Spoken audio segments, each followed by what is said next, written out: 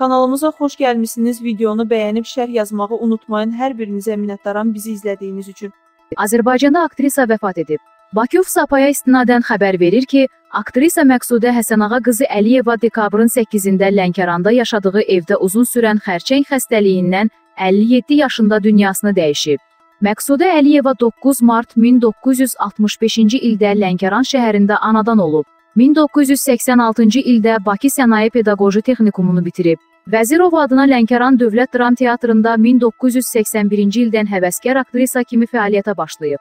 O, teatrın səhnəsində bir çox tamaşalarda Mahmud və Məryəmdə qulluqçu qızı, Vicdanın hökmündə Rus qızı, Pul dəlisində solist, Qaraca qızda Nərgiz, onun iki qabırğasında qumaş kimi obrazlar yaradıb.